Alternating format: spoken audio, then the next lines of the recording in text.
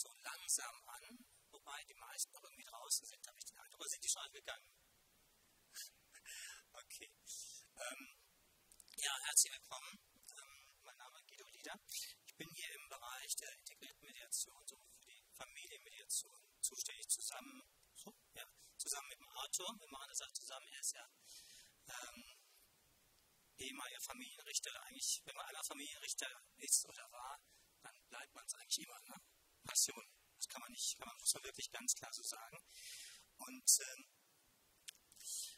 ich habe mich vorhin sehr gefreut, dass der ähm, Richter auch im Ruhestand, äh, der Jürgen Rudolf, ist auch noch draußen, ähm, vortragen konnte. Hm, der war für mich auch so eine der Ikonen, also natürlich bevor ich den Arthur kennengelernt hatte, ähm, des Familienrechts, des deutschen Familienrechts. Kochma-Praxis war für mich wirklich auch ein Meilenstein. Ich weiß gar nicht, wer von den Anwesenden ist eigentlich im Bereich Familienmediation, sag ich mal, tätig. Eins, zwei, drei, vier, ja, fünf, sechs, sieben, acht. Also ich habe draußen noch einige, einige sind noch von denen draußen, von denen ich es auch weiß. Das heißt einige. Das heißt, einige wissen auch, worüber wir eigentlich auch so gesprochen haben. Familienrecht, ne, was, was ist, worum es da eigentlich geht.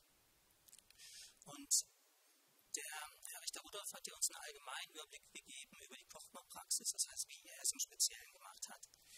Das ist in der Tat abweichend von dem, wie es davor war und auch abweichend von dem, wie es an 95 Prozent, 98 Prozent der deutschen Familiengerichte abläuft.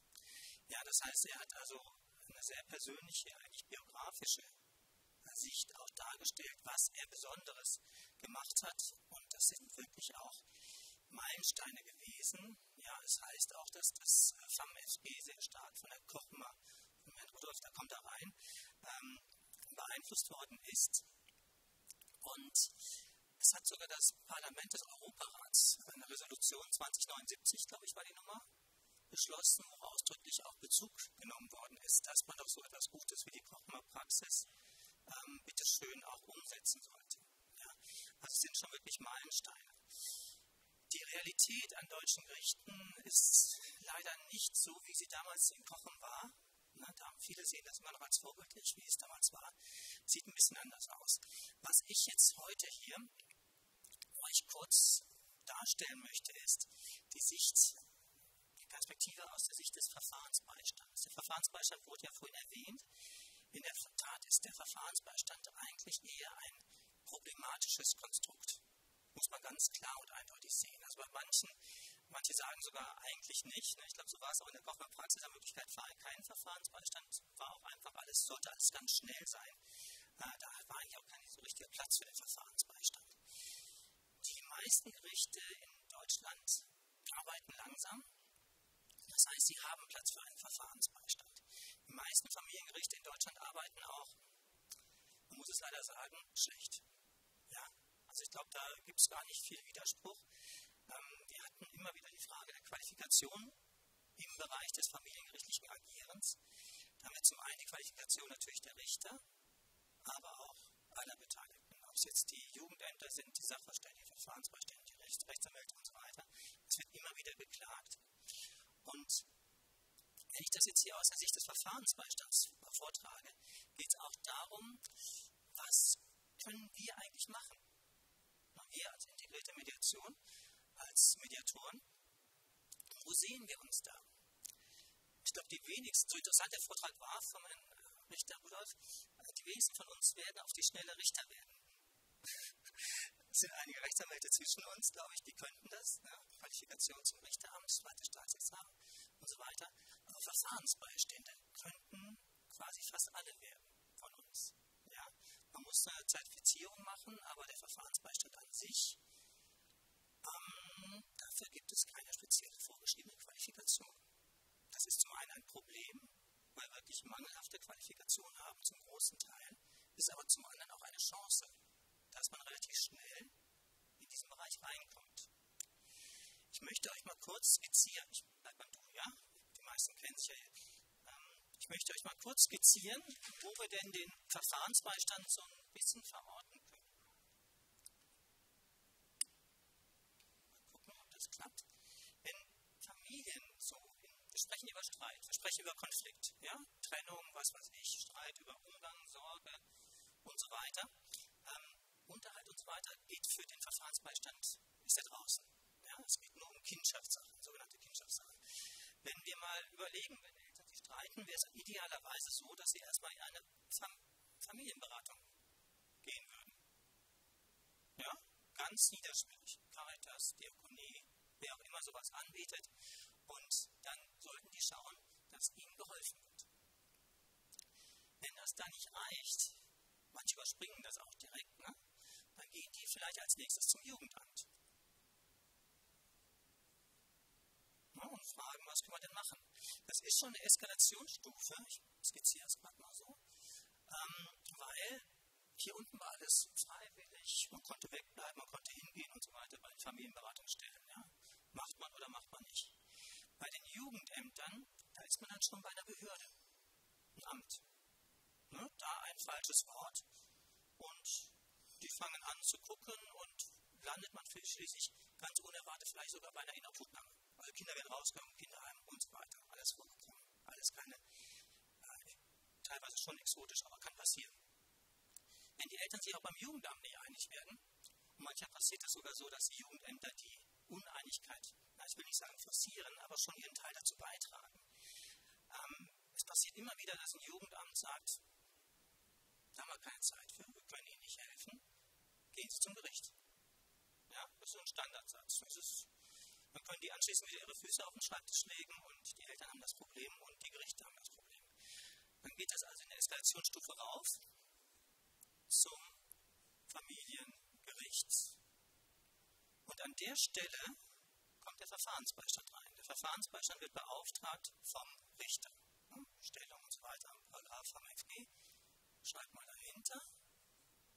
Frage, also Verfahrensbeistand. Und jetzt entscheidet es sich beim Familiengericht, bleibt das ganze Verfahren auf einer hohen Eskalationsstufe oder geht es vielleicht sogar in eine noch höhere Eskalationsstufe, weil manchmal ist es nach dem familiengerichtlichen Verfahren schlimmer als vorher? Ich weiß nicht, ich sehe nicht so ganz genau, ob der Herr Richter Rudolf nickt. Aber ich glaube, ich habe es schon öfter von euren Vorträgen von ihm gehört. Und an der Stelle ist also die Frage, beruhigt sich das Ganze oder bleibt es schlimm? Und auf diese, an dieser Stelle hat der Verfahrensbeistand Einfluss. Und hätten somit auch wir Einfluss. Das heißt, an der Stelle entscheidet es sich, geht das Ganze wieder auch von der Eskalation, das soll Eskalationsstufen sein. Ne? Je höher, desto höher ist die Eskalation. Geht das Ganze jetzt vielleicht wieder runter in eine normale Eskalationsstufe, sage ich mal wieder, und könnte in Zukunft dann mit total netten Familienberatungsmitarbeitern vielleicht auch in einer Art Mediation, so gut wie Sie sehen können, weitergehen? Oder bleibt das Ganze hier auf der hohen Stufe und eskaliert oder geht vielleicht sogar noch höher und eskaliert noch weiter? Manche familiengerichtlichen Verfahren oder sage ich mal, manche familiengerichtliche Streitigkeiten sind ja erst ja, zum Teil noch nicht mal zu Ende, wenn die Kinder 18 sind. Ja, die ziehen sich. Und die, die gehen dann, was weiß ich, ne, wenn man dann beim normalen Amtsgericht, Familiengericht ist, dann geht es dann weiter zum Oberlandesgericht oder manche dann zum BGH, manche zum Bundesverfassungsgericht und manche zum Europäischen Gerichtshof für Menschenrechte. Ja. Äh, bei dem Paulaner am Dom, den möchte ich gerne wissen, wer kommt. Könnt ihr mal die Hand heben?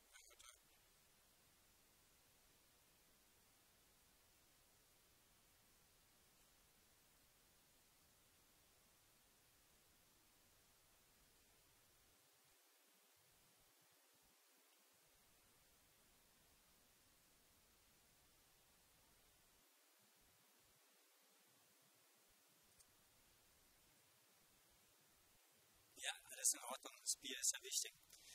Ähm, dann, also das wären Eskalationsstufen. Ja? ähm, und die Frage ist ganz einfach, wo geht es weiter? Na, sagen wir also, was weiß ich, Eltern oder die Kinder sind in so einem, als es dann losgeht, Eltern haben sich getrennt, sind sechs Jahre oder sowas. Ne? Und dann ist die Frage, okay, nach einem Jahr sind sie vielleicht, was weiß ich, OLG, Bundesverfassung, Europäischer, was sonst irgendwo. Und es gibt manche, die machen das bis zum 18. Lebensjahr, mögen dann noch nicht mal davon lassen. Ähm, kommen die wieder schnell runter auf eine ruhige, konsensorientierte, vielleicht auch eigenverantwortliche Ebene oder halten sich um in Eskalation? natürlich die Frage, warum erzähle ich das? Warum erzähle ich hier von Verfahrensbeiständen und so weiter? Der Verfahrensbeistand hat keinen Mediationsauftrag in dem Sinne, beziehungsweise vor allen Dingen, wir machen keinen Mediationsvertrag. Was wir aber machen können, ist, wir können hier fürs Gericht arbeiten und können die Elemente der integrierten Mediation, ja, gerade das Integrierte, überall benutzen. Der Verfahrensbeistand hat bestimmte Aufträge. Er spricht also mit den Eltern, mit allen Verfahrensbeteiligten, natürlich mit den Kindern, die vertritt er ja vor allen Dingen. Und die Frage ist ganz einfach, agiert der Mediator dahingehend, dass er versucht, den Konflikt zu reduzieren, beziehungsweise dass er mit den Familien versucht, Lösungen herbeizuführen, beziehungsweise die Familien selber die Lösungen zu finden? Oder sagt der Familien, sagt der, manche Verfahrensbeistände agieren sogar zum Teil eskalierend. Ja. Und wir hätten die Möglichkeit an der Stelle, das, was wir von der Mediation kennen, tatsächlich dort einzubringen und darauf hinzuwirken. Ja. Mal aus meiner Erfahrung als Verfahrensbeistand, wenn ich so eine Akte bekomme, also ich spreche jetzt hier drüber, ne, wenn wir beim Familiengericht sind, wenn ich solche Akten bekomme von den Familien, aus meiner Erfahrung oder Einschätzung, 70 Prozent dieser familiengerichtlichen Verfahren gehören gar nicht vor Gericht. Ja, die gehören hierhin. Die sind zum Teil sogar sehr einfach zu lösen. Zum einen, wenn man schnell agiert, schnell eingreifen würde, zum anderen auch, wenn man einfach sich viel Mühe geben würde. Hier als Berater oder Mediator, der schon hier ist. Ja. Und davon, von diesem wirklich, zum einen Know-how, aber zum anderen Zeiteinsatz, davon haben wir viel zu wenig. Wenn das hier ordentlich gemacht würde, würden wir hier viele Verfahren nicht sehen. Wie gesagt, meine Einschätzung ist, 70 Prozent gehören hier unten hin und nur relativ wenige sind wirklich da oben verortet. Jetzt kommt natürlich die Frage, ja, welche sind denn, gehören denn hier unten hin? Und welche sind gar nicht, äh, kommen da gar nicht hin? Wir haben natürlich Verfahren, wo sich Eltern eigentlich, viele Eltern tun das ja auch, aber Eltern sollten sich eigentlich selber einigen können. Das geht manchmal beim Trennungsstreit nicht so ganz, ne? die Emotionen kochen hoch. Ja, aber das wird immer gesagt, Emotionen und Verstand, ne? kleiner Widerspruch. Ähm, die Emotionen kochen hoch und dann gehen die halt aufeinander los und dann ist die Frage, lässt man die aufeinander losgehen? Verschlimmert man es zum Teil sogar? Oder sagt man jetzt mal ganz ruhig und wir versuchen es mal mit ein bisschen mehr äh, konstruktiver Kooperation? Also nimmt man die an die Hand und wenn man die an die Hand nimmt, kann man zum Teil extreme Erfolge erzielen. Ja, und da könnten wir mit unserer Art, wie wir zuhören, wie wir sprechen, wie wir Fragen stellen und so weiter, enorm. Gut, es gibt auch hier als Verfahrensbeistand Teile, da kann man quasi nicht mediativ groß arbeiten. Wir müssen unterscheiden bei den familiengerichtlichen Verfahren zum einen die wirklich zivilgerichtlichen Verfahren, also sage ich mal bei der Trennung Mutter gegen Vater, Vater gegen Mutter, wie auch immer. Ja, da können wir mediativ arbeiten. Es gibt aber auch andere Verfahren vom dem Familiengericht, da geht es nicht innerhalb der, der Familien, sondern es geht darum, Jugendamt Familie gegen Jugendamt, also eigentlich Jugendamt gegen Familie. Zum Beispiel eine Inobhutnahme. Aus irgendeinem Grund das muss auch gar nicht immer zutreffend sein. Ja? Es ist immer schwierig, das dann pauschal zu sagen. Wie oft passiert, stimmt das, wie oft nicht. Manchmal sind es wirklich die Nachbarn, die erzählen irgendwas, die erfinden irgendwas und schon hat man dann das Jugendamt an der Backe. Und bei solchen Verfahren, da geht es natürlich nicht so sehr um Mediation äh, zwischen den, in, innerhalb der Familie, sondern da hat man ganz andere Fragen. Sind die Kinder gefährdet und so weiter und so fort. Das heißt, der Verfahrensbeistand kann seine mediativen Fähigkeiten einbringen in ein familiengerichtliches Verfahren bzw. in ein Kindschaftsverfahren. Aber er muss darüber hinaus auch wirklich Kenntnisse haben über alles, was da im FG familienrechtlich sonst noch passieren kann und was denn eine Gefährdung eines Kindes darstellen könnte. Er muss keine Kinder, keine, kein Kinderschutzbeauftragter oder sonst irgendwie qualifiziert sein, aber er muss da einen Blick haben. Der Verfahrensbeistand selber vertritt die Rechte der Kinder, die Interessen der Kinder vor Gericht. Ja. Wir haben natürlich viele andere, noch in so einem familiengerichtlichen Verfahren, hatten Sie vorhin schon genannt, Richter, natürlich das Wichtigste. Äh, Im Zweifelsfall macht er auch den Beschluss. Aber natürlich auch die Sachverständigen Jugendamt und die, und die Rechtsanwälte. Ähm, wenn ich selber beauftragt werde von einem Richter, dann wissen die natürlich schon, wie ich arbeite. Es ja nicht erst seit gestern.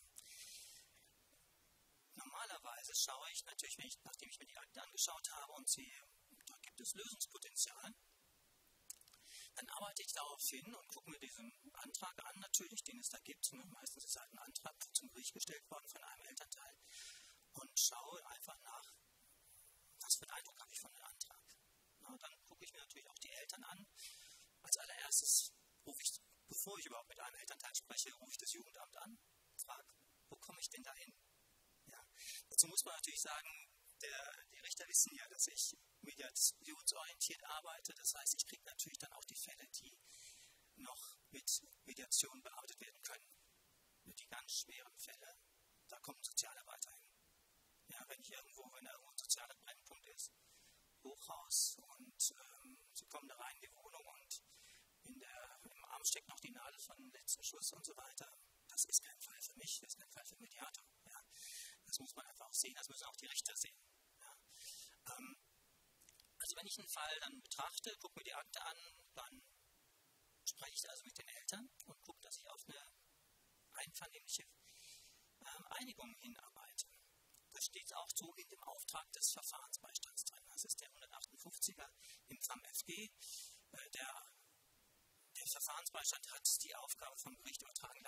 Ich würde es jetzt raussuchen, aber verlieren wir Zeit. Also glaubt mir einfach, FAMFG, die meisten oder viele wissen es ja auch, da steht die Beauftragung des Verfahrensbeistandes drin. Und da steht dann auch drin der einfache Auftrag und fast, also ich kenne es eigentlich nur so, dass der erweiterte Auftrag gegeben wird, äh, dass der Verfahrensbeistand auf eine einvernehmliche Lösung hinarbeitet bzw. vorbereitet. Die Richter sind aber durchaus auch sehr angetan, wenn man das Ding komplett löst.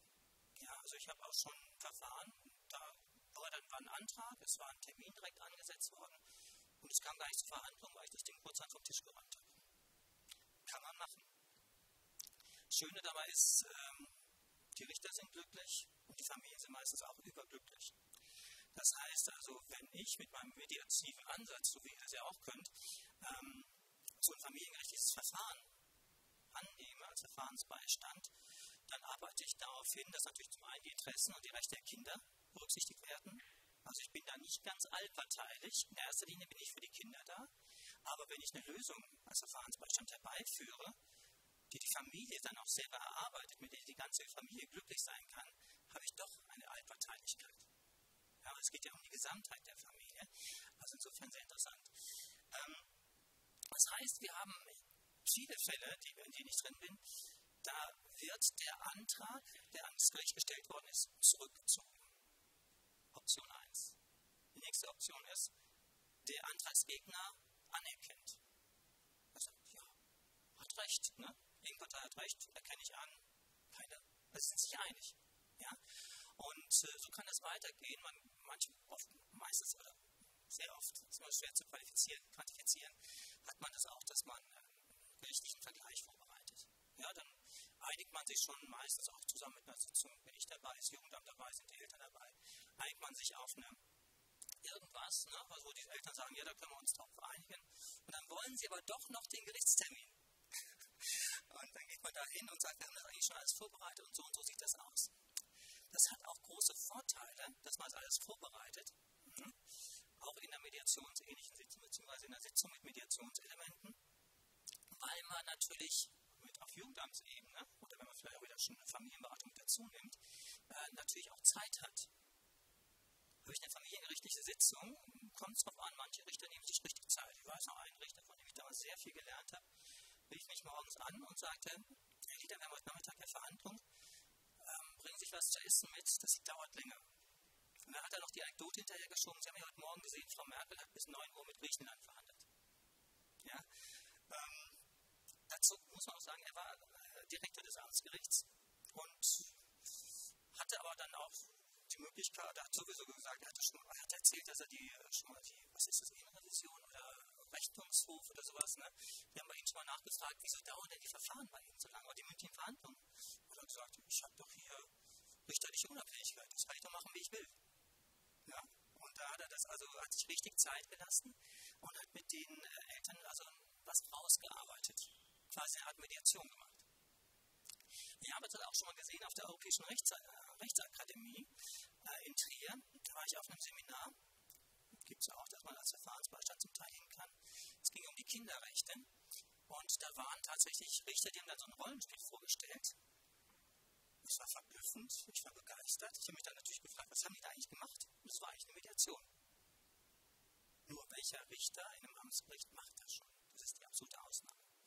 Der Richter Rudolf hat vorhin mal gesagt, mit dem Personalwechsel war plötzlich alles quasi wieder auf Null gesetzt. Das ist halt auch oftmals so.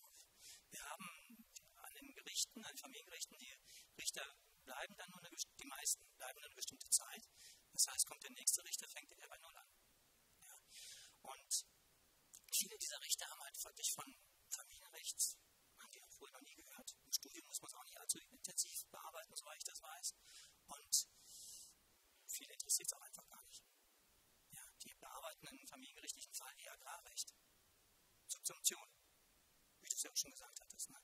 Und ähm, ich weiß noch, ich habe mich, manchmal stellt man sich ja dann auch wirklich nochmal bei neuen Richtern vor. Ich war eine neue Richterin. Bin ich da hingekommen, habe gesagt, ja, haben Sie schon was gemacht und so weiter. Sagt sie, ja, sie war schon in anderen, äh, anderen äh, Bereichen tätig. Habe ich gesagt, ja, Familienrecht ist anders. Da geht so stark auch um Emotionen. Und wenn da ein Beschluss tatsächlich ganz tief in die Familie eingreift und auch ganz tief, Menschen betroffen macht, dann haben wir es zum Teil bis zum Suizid. Das müssen wir vor Augen haben. Das heißt, in Deutschland gibt es eigentlich keine Todesstrafe, aber wenn ein Richter tatsächlich einen Beschluss macht, der eine Familie oder einzelne Personen dort zu, zunichte, also wirklich vernichtet, zugrunde richtet, dann kann man schon durchaus davon sprechen, dass am Familiengerichten Todesstrafen ausgestellt werden. Ja, das muss man sehen. Und das ist natürlich wirklich tragisch, aber das ist die Tragweite, die wir haben. Es geht um Emotionen. Gut, aber kommen wir wieder auf die positiven Dinge zurück. Das heißt, hier kann natürlich alles mögliche Positive geschehen. Antrag zurückziehen, Antrag entsprechen, familiengerichtlichen, also Vergleich fürs Familiengericht vorbereiten. Aber man kann auch einen kompletten Vergleich dann schon wieder, also ich mache es sehr gerne, dass ich die Familien, mit den Familien sogar in die Familienberatung gehe. Ich wähle für die, die passende Familienberatung aus, den passenden Berater. Und dann gehe ich mit denen tatsächlich zur Familienberatung bei der ersten Sitzung. Ich sitze dann dabei und schaue, dass die dann vom Gericht runterkommen in die Familienberatung. Da machen wir dann auch schon, bereite ich dann was vor, wo wir drauf uns dann einigen können. Das ist dann meistens so die, der Vergleich, der dann dem Gericht vorgelegt wird, der wird dann hier ausgehandelt und dann wird der nur noch vorgelegt. Hier oben gebilligt und Richter braucht keine Begründung zu schreiben, kein Protokoll, keine Verhandlung, hier unten ist die Billigung erfolgt. Er macht nur noch seine Unterschrift, seinen Stempel drauf und dann steht auch unten drin in der Familienvereinbarung, in der Elternvereinbarung, zukünftig wollen wir alle unsere Dinge ne, konstruktiv, kooperativ, konstruktiv, kooperativ lösen, kooperative, konstruktive Kooperation und wollen als in der Familienberatung klären. Das ist dann Teil der Elternvereinbarung. Und so kann ein, ein Verfahrensbeistand arbeiten. Das Problem ist halt, die meisten arbeiten so nicht. Deswegen stehe ich auch hier und sage, bitteschön, wer sich dazu berufen fühlt, Verfahrensbeistand zu werden, möge es werden und möge die Instrumente, die wir hier bei der integrierten Mediation kennenlernen und schätzen lernen, auf so etwas anwenden. Das geht. Ja? Wir können kein formelles Mediationsverfahren machen. Es ist nicht gegeben, weil wir hier halt in dem Rahmen des Familiengerichts, des VMFG arbeiten. Aber wir können die Elemente der integrierten Mediation benutzen und zwar sehr, sehr erfolgreich. Das ist völlig klar. Gut, das wäre soweit mal mein Appell. Ähm, ich habe ein paar Sachen hatte ich vorbereitet, die lasse ich jetzt aber auch weg, weil es einfach viel zu lang dauern würde. Leider war das jetzt abgestürzt. Und ähm, ich denke aber, dass es hier schon mal so einen ungefähren Überblick gibt, worum es geht.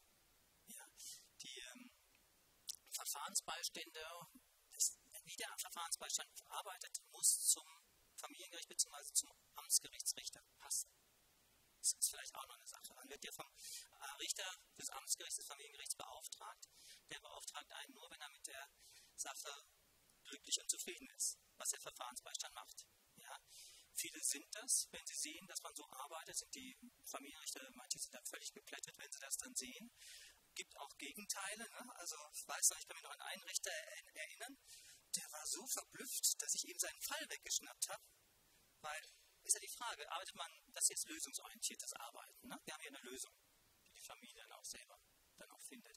Arbeitet man lösungsorientiert oder arbeiten wir beschlussorientiert? Also will man unbedingt einen Beschluss machen, das soll jetzt so und so und so laufen. Und manche Richter sind so beschlussorientiert, der war sauer darauf, dass er keinen Beschluss machen konnte.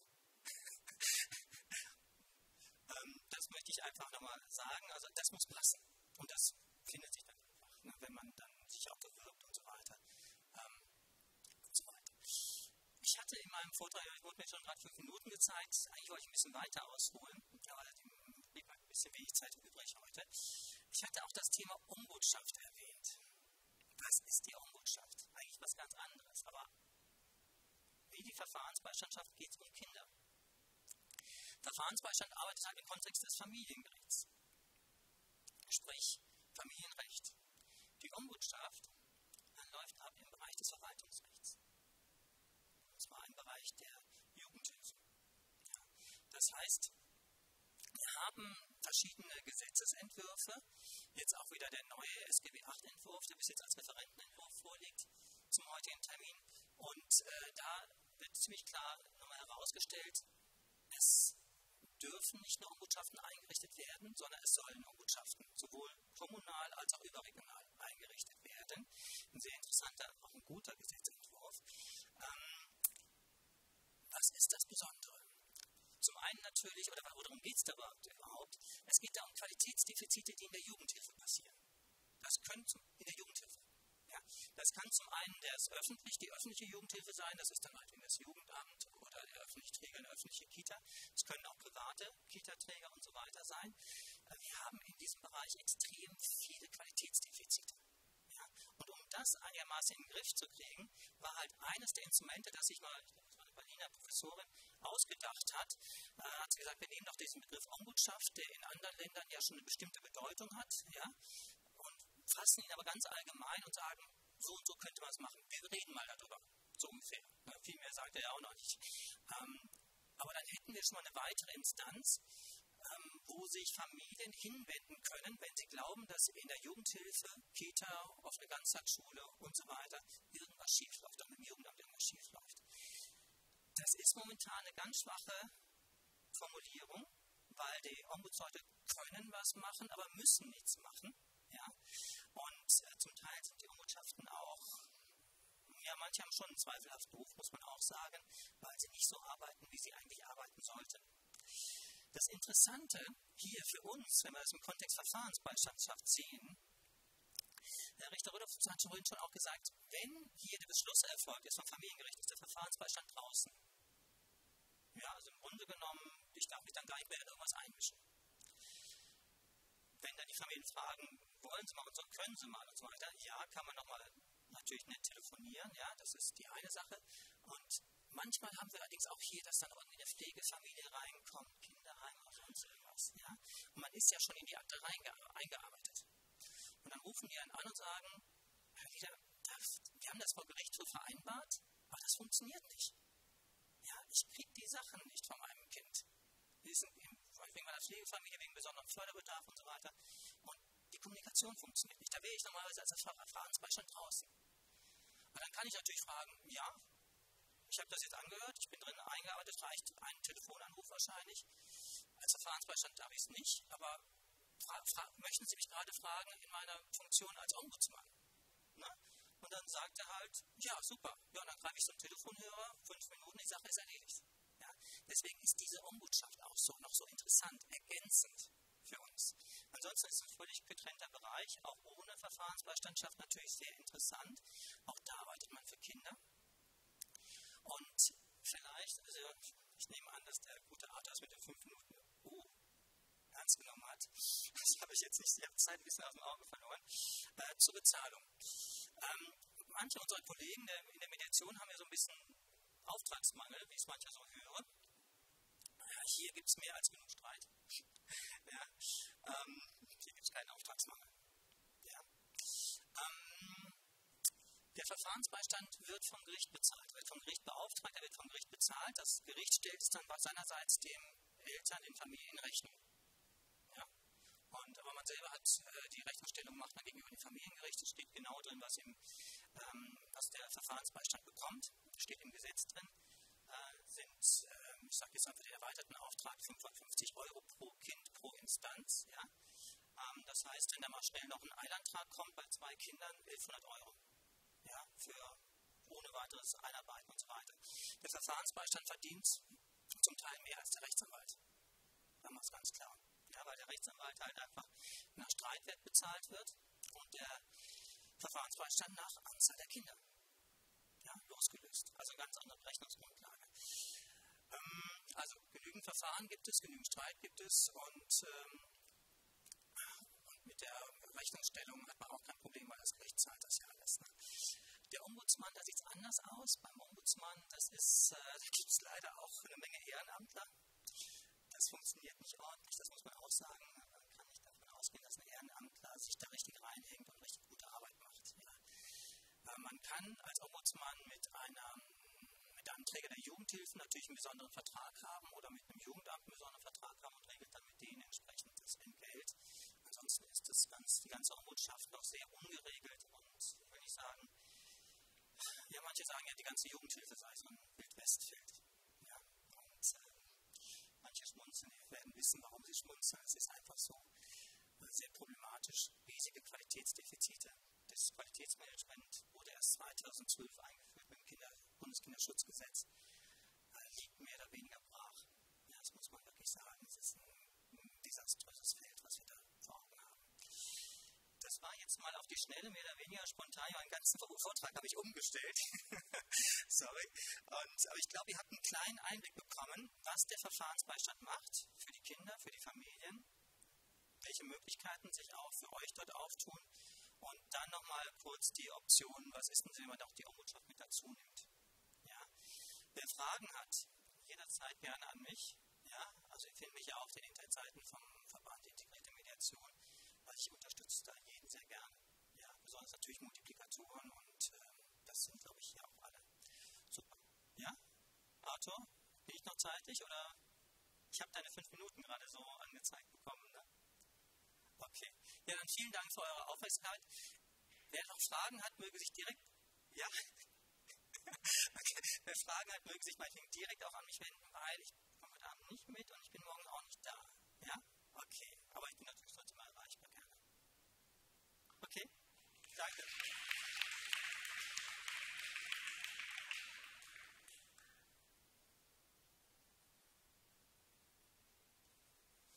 Ja, Fragen ist eine gute Frage. Äh, es gibt Ideen. Also was, was mir zum Beispiel eingefallen ist, weil Fragen sind wirklich zu kurz formuliert. Aber eine Idee wäre, wir machen so Kurzkonferenzen online, nur zu einzelnen Themen ich habe auch eine Menge Fragen. Ja. Ja. ja. ja. Und auch äh, spannende Anregungen bekommen. Ja, das wäre also eine Idee. Da stehen eine Menge Fragen. Ich werde die sammeln, abschreiben, weiterleiten, eine andere Möglichkeit. Ja, ja also ich sag mal, wenn wir es in der Konferenz machen, wenn wir es, in der Konferenz machen können, hat das natürlich einen Vorteil, dass da mehrere zuhören können. Ne? Immer wieder einzeln antworten ist halt mühselig. Meine Zeit ist dann auch irgendwo begrenzt. Also ich mache das sehr gerne, wenn man wegen irgendjemanden einen richtigen Fall hat und sagt, wie mache ich das jetzt am besten? Spreche ich zuerst mit dem Antragsteller und mit dem Antragsgegner? Ja, macht ja schon einen Unterschied. Ne? Ähm, also lieber natürlich, wenn was weiß ich, wir zu 20, 30 in der Videokonferenz sind. Das hat einen Preis. Erstens kriegst du jetzt deinen Preis und zweitens hat das einen Preis, nämlich wir müssen eine Online-Konferenz machen für die, die jetzt nicht teilgenommen haben. Die brauchen ja eine Einführung. Ne? Das heißt, wir müssen es kurz zusammenfassen, äh, das Thema einführen überlegen das. Vortrag, es gibt es ja auch, der ist ja auch aufgezeichnet. Ich weiß ja nicht, ob es geklappt hat. Der Vortrag heute ist ja auch aufgezeichnet. Na, ja, also insofern können wir jeden verpflichten, vor unserer Diskussion den zu sehen. Das Wort verpflichten habe ich in der letzten Zeit oft gehört. Das ist ein Wort, was ich nicht so mag, aber vielleicht schaffen wir es mit Motivation. Okay, ich schlage vor, das war's für heute. Wir sehen uns morgen 9.30 Uhr gleich äh, beim Bier, Wein oder sonst was äh, im Paulaner am Dom. Ich hoffe, es hat euch gefallen. Ich fand es total inspirierend, sehr intensiv, sehr einseitig, aber es liegt vielleicht an der Fontanensituation hier. Wir arbeiten daran. Ich wünsche euch einen schönen Abend, tollen, schönen, bis morgen.